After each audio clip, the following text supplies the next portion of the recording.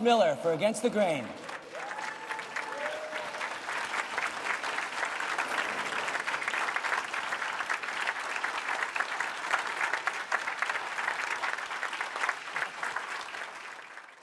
Hi, I'm Dana Workman here in Hollywood, California at the Roosevelt Hotel for the National Academy of Best-Selling Authors Bestseller Summit and Golden Gala Awards.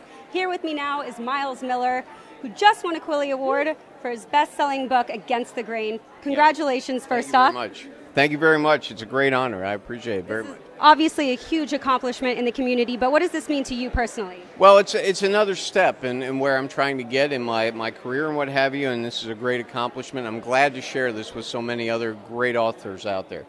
Now, tell us a little bit about the book and the piece that you wrote. Sure. Uh, the book is, uh, is all about what to do in this challenging eco- economic times that we're in.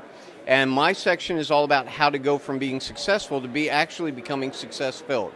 We want people to be able to, and I shared some of my insights into how to go to being successful and some of the key things to do that, like attitude, surrounding yourself with the best connections you can, and being tenacious in everything you do. Don't take no for an answer.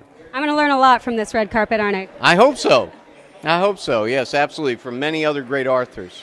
Well, I'm sure you'd like to thank some people, so now's your chance. Oh, absolutely. Well, first and foremost, got to thank the guy upstairs for helping make all this happen. My family, absolutely. My great uh, crew of people who are here with me tonight from Green Tea Designs, who helped market all this stuff, and uh, all the people at DNA Agency and Celebrity Press who made this all happen. Awesome. Well, congratulations again. I'm Dana Workman signing out for the National Academy Best Selling Authors here in Hollywood.